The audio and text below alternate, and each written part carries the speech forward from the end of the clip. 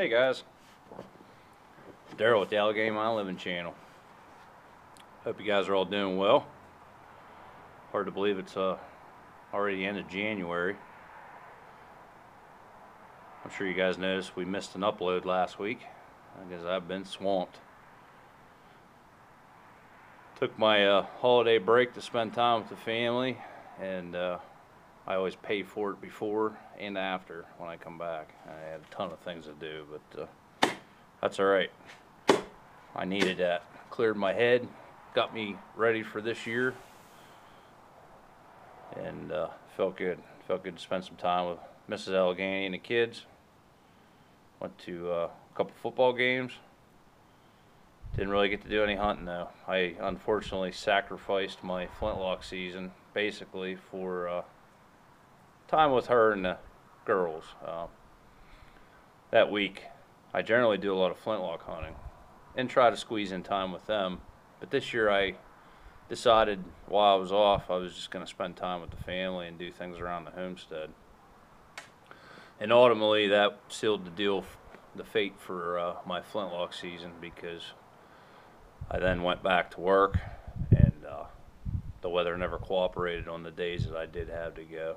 So I basically gave up my season this year, which is unfortunate because I was really looking forward to making some videos for you guys and uh, doing some flintlock hunting because I love flintlock. So I have to apologize for that. I know a lot of you guys were looking forward to the videos and kind of bums me out. And then I ended up missing putting a video up last week because I've been so busy. So I need to quit that and try to get back onto a weekly upload. I mean, I only missed one week, but uh, I actually have a bunch of footage from. Uh, I, I don't know if I'm even going to put it up. You guys can let me know in the comments. But uh, I, me and Mrs. Allegheny went to Pittsburgh for uh, Steelers Miami game, and uh, I shot a bunch of video, but I didn't put anything up or put it together because I didn't want to, you know, put too many football videos up and city stuff because that's not what we're all about here. But I'll put it up if you guys want me to. Um, I know a lot of people wanted to see more of Mrs. Allegheny and the kids in the videos, and she doesn't get in the videos very often, so I thought this would be a nice one anyhow. You get to meet her a little more. Um, our uh, beloved Steelers are no longer in the playoffs for, or uh, run for the Super Bowl. They lost greatly to the New England Patriots. It wasn't even a game. It was horrible, but uh, guess you'll have these things win, lose, or draw, they'll always be my Steelers. So, so anyhow, uh, we're just out getting some coal today for the uh, furnace, and uh, I get these buckets filled up, and uh, we'll get moving here.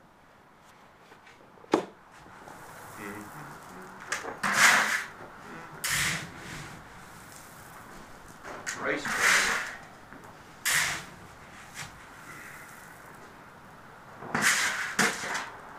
I gotta I've been loving the new furnace. Loving it. What a dream compared to the old one. Probably got probably got about a good ton of rice coal through it now. So I figured this would be a good opportunity to uh, do a good review on the unit give you guys my impressions on it. Pros and cons. The good, the bad. And just my thoughts on it. That way, if any of you guys are thinking about doing this, putting one of these in your homestead, maybe I can give you some guidance and uh, help you through it. Uh, I don't think I've seen any videos on YouTube about the uh, Model 710 Hitzer.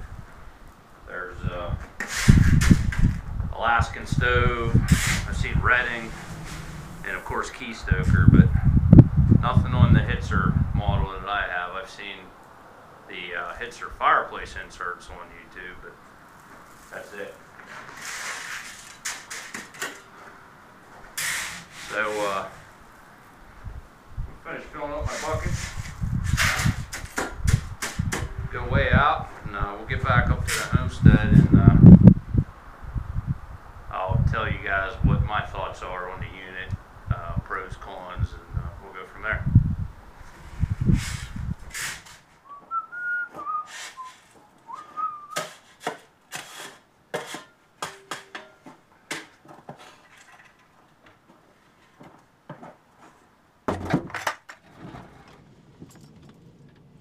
got some snow. Not a whole lot. It was pretty warm last week. There was days that uh, it was up in the 50s. Been a kind of a strange winter here so far.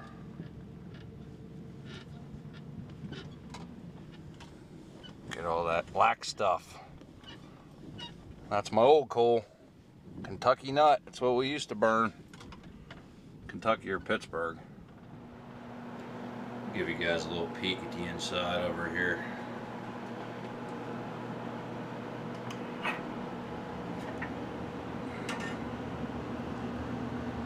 That blue flame.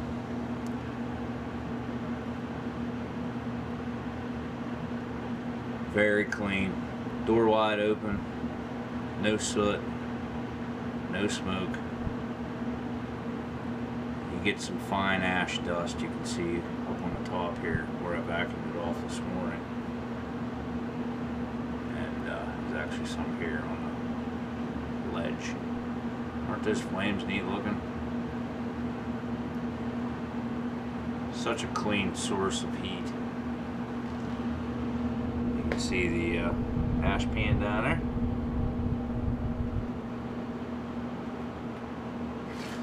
Uh, one thing to note, if uh, you like your glass clean, uh, better be prepared to do it once a week because uh, within a week it's uh, pretty hazy like that. I'm not real concerned with it. I like the glow. It's kind of like a nice night light. Um, I've only cleaned it once or twice, so I'm not real big really concerned with it the way it is. It doesn't bother me too much. It is nice when it's clean, but I have to get some actual stove, glass stove cleaner for it. Uh, oven cleaner works pretty well for it too. And then here's the ash compartment. Nice gasketed doors. You see the, how nice of a job they did on this unit.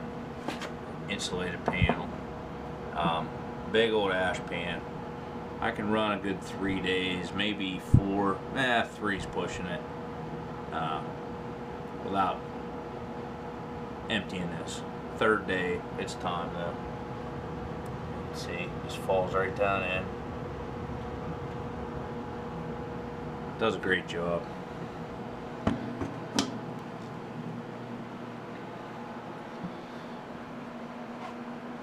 thermal cutoff switch for in the plenum. Um, here's the hopper.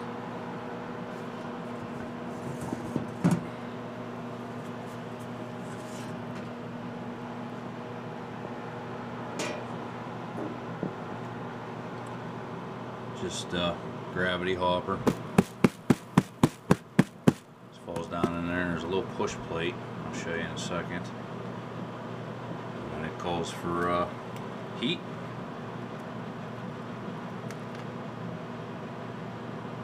It uh, feeds itself. Let me grab the light here.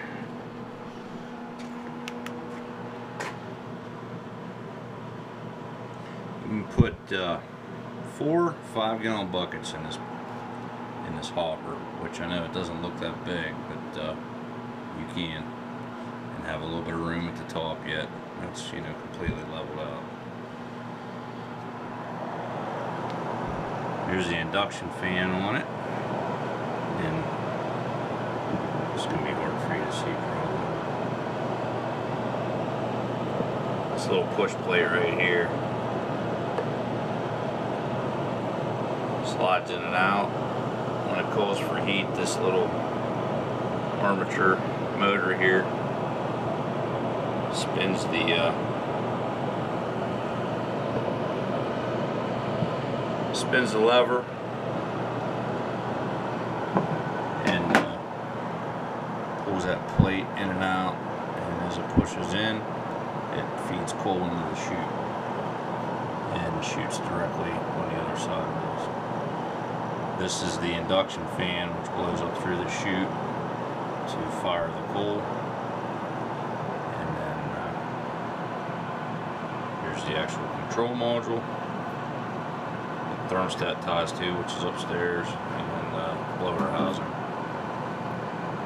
A little dusty, isn't it? Takes a 16 by 20 by 1 inch uh, filter. I just have a cheap one in there. Changing that here soon. It's uh, about a month and a half old now.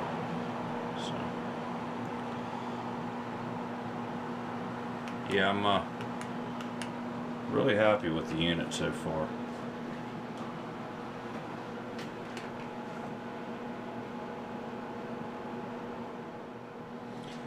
Now, a few things I'd like to note.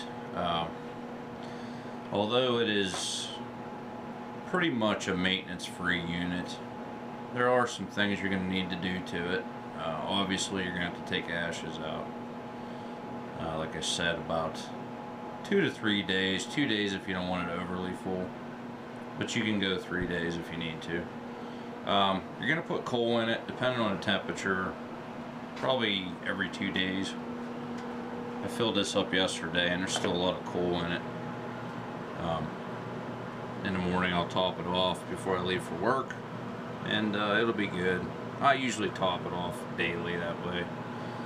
If we get some extremely cold weather then, you know, it's good to go. I don't have to worry about it. Um, it pretty much turns itself way down during the daytime, so it's not burning near the cold it is at nighttime, which is great. Great having that digital thermostat. Um, when I clean it,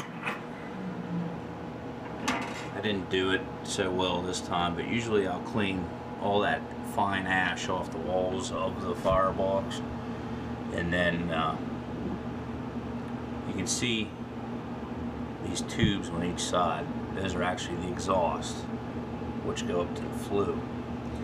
And what happens is you get that fine, see that dust? You get that fine dust that goes up in flue chambers above the firebox. And uh, there's like a space between the top of the sheet metal here and the firebox and flue gases go in and up through the flue. And you can see, see that fine dust in there? So every time I do the ashes, I like to uh, sweep it all out with the shop vac. Usually during the daytime is the best time to do it. Um, and another thing is this right here, there's chains that go down inside on each side. And what you do is, I found if you open your damper and jack it open so it's pulling air out, and then you clean it. And what that does is it knocks all that down, all that fine dust, ash dust down into the actual firebox and it will all fall out at the bottom on each side and then you can just vacuum it out. So there is some maintenance with it. It's very limited. If uh, if any of you guys run a hand-fired soft coal unit, uh, this is like a dream compared to that, believe me. Uh, last 15 years I've been firing a hand-cooled unit here, hand-fired coal, soft coal unit, and the filth and soot and dust that comes off of the soft coal. Uh, it's really hard to get good soft coal now, it's just it got to the point where I I, I didn't want to deal with it anymore. I've been uh, down here cleaning this basement since I put the thing in. Um, just amazing how all that soot and everything lays on the wires and I mean I've been vacuuming and cleaning and getting ready to because I'm going to repaint everything down and see how dingy the walls look so I got to repaint everything get it all finish cleaning everything up, but uh, yeah, that's basically it. Uh,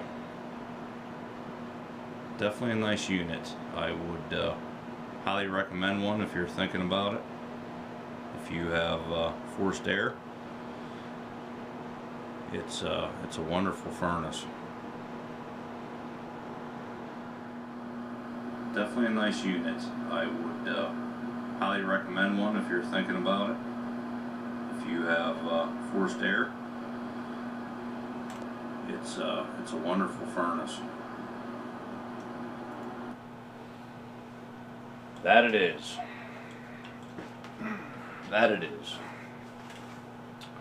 Uh, I figured to finish out the video, I'd go into uh, the pros and cons I have found with the unit in the time I've been running it. Like I said, I've run around 2,500 pounds of coal through it now, 2,400 pounds, somewhere around there. So uh, I wanted to wait until I ran at least a ton through it before I did any type of review on it. Because you got to figure out a unit, and I don't want to give it any any mi misinformation on it. So, uh, uh, the only couple cons that I've seen with it, uh, one is specific to me, and that is I can't burn firewood now. Um, I'm gonna have to buy a month and a half's worth more coal, but the convenience of the unit makes up for it. So that's and that's just specific to me, like I said. And I'll probably put a fireplace or something in upstairs eventually, anyhow and then I can burn firewood in the fall and spring and uh, fire this up once winter hits. Uh, the other con is you have to have power to run this unit.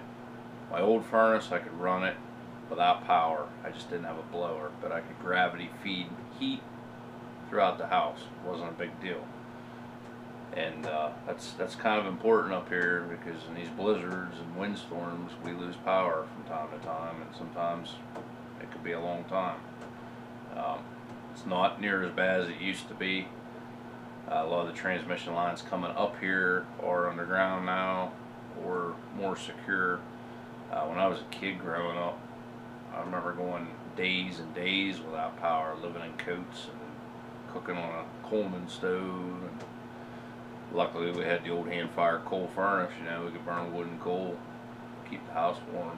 But uh, it was still pretty chilly because you didn't have a blower to blow heat around, you know. But uh, with this, you're going to have to have backup power of some sort uh, it's your primary heat source. So something to keep in mind.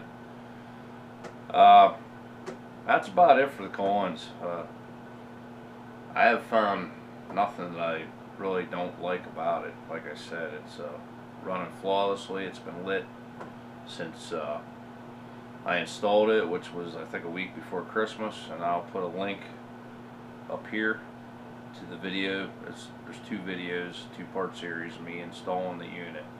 If you guys want to check it out and see how how I put it in what it looks like when it's all tore apart and brand new inside and everything, you can check that out. I'll put it right up here. Uh, the pros for me is I can get away from the homestead now. Uh, we can go down to the cottage project property. I haven't yet this year, but or this winter, but uh, we can go down there for the day, or when the you know the cottage, the cabin's built, we'll be able to go down there, you know, for two days. Won't have to worry about it anymore. Before I was tied to this thing every 10 12 hours, I needed to be back here to stoke the fire, shake it out, and bank the coal off again. So. As long as that hopper's full and the ashes are good, don't have to worry about it. And I could always have Nate, somebody stop by and check it, you know, second day we're going or whatever. So that's really nice. Can get out of here. We're not tied to it. Um, it's easy to light. Uh, use a little fire mouse, little fire starter, stick it in there. Thing kicks right off. There's nothing to it. Fires right up. Um, quick way quicker than building a fire in a conventional furnace. Um, it's easy to clean. Like I said before, you just take that ash pan out, hit the shop vac, rack that slider back and forth a little bit, vacuum it out. I like to vacuum the flue out where I have the damper inside the T best I can. I do that every time I take the ashes out. 10 minute process at that. It's quick. Um, fully automatic. It's wonderful. I have it set 5 o'clock in the evening to 7 o'clock in the morning. 5 o'clock it turns itself up to uh, 70, 71 degrees. I think it's 71. Seven o'clock in the morning, it drops itself down to 68. Then all day it runs at 68 and conserves that cold. Doesn't use near as much while nobody's home. Five o'clock, it ramps itself back up. Temperature's always consistent. Upstairs, first floor, down here, perfect everywhere. Always spot on. And for this house to be that consistent is saying something with that thermostat. It's very precise because this place is 130 years old, uh, not insulated well. I still haven't remodeled the upstairs, you know, so I lose a lot of heat through the roof, and it does a phenomenal job. Very consistent. You'd almost swear it was uh, hot water baseboard heat. It is so consistent, at least here. It works out wonderfully. Most consistent heat this house has ever had, I can tell you that. Um, uh, and the last uh, pro for me, and it's a big one, is the clean burning. Extremely clean, no no soot, no smoke whatsoever. Um, very very faint odor you can get off the unit if you have the door open. Um, it's almost like a sulfur smell, but that's only if you have it wide open. You barely ever smell it. You'd have to have like a bad draft just to catch a little smell of it, but it's nothing at all. Um, just so clean. It's amazing. It's like burning gas. Um, for like I said, soot everywhere, dingy walls. You can see I haven't painted down here in a couple years because I kind of gave up. Now I can finally freshen the walls all up, repaint everything, and uh, won't have to worry about it anymore. It's going to stay that way now. Um, that's that's a big deal in my book. I don't have to worry about the soot. You know, it used to go upstairs. She, Mrs. Allegheny, clean. Hour later, you could go like this, and you'd have dirt on your finger. Didn't matter how much you cleaned, you were getting soot upstairs. Tried filters, everything. Not with this. It's clean as can be. I've gone around and vacuumed all my registers, my duct work out. I cleaned the duct when I had it all tore apart, and uh, it's great. Not to mention outside, my siding, we get black up at the dormers. This is sort of like a, a Cape Cod craftsman style house, four square style house. It has a dormer upstairs, and there'd be soot line on my siding, my vinyl, and that stuff is miserable to scrub off. In fact, I have to do it yet, so this spring will be the last time I'll have to deal with that anymore. Uh, I found Purple Power works good with a scrub brush, but it's not fun. It's a bad job. So, that's all behind us now. So that's basically it. Uh, pros and cons. Like I said, the cons are very minimal. Uh, one one con is just because I like to burn wood in the fall. So, um, if you guys uh, like the video, don't forget please hit the thumbs up. It really helps uh, helps the channel out. Really appreciate it. If you guys have any questions about the unit, feel free to uh, leave a comment down below. Um, I get back to everybody. Uh, if you'd like to follow us on Instagram, you can follow us at Allegheny underscore mountain underscore living. And if you'd like to send mail or uh, any type of pictures, correspondence to us, uh, you can send it to Allegheny Mountain Living, P.O. Box 75, Mineral Point, PA 15942. It's always in the description down below the video. Email or uh, emails on the uh, about section of the page if you want to send an email. Um, I think that's about it for this one. I really appreciate everything from you guys, all the comments and views. Means a lot. All the support for the channel. If you're not a subscriber to the channel, please hit the subscribe button. There's always future content coming out. There's plenty of videos to watch from past year or so, so we're just getting started here. Always trying to improve on the channel, so. But I think that's it. Uh, I think this video is probably long enough, and uh, just wanted to go over the unit, tell you guys about it, and uh, help anybody out that's maybe thinking about getting one. So, all right, everybody. Uh, appreciate everything. I guess until next time, have a great evening.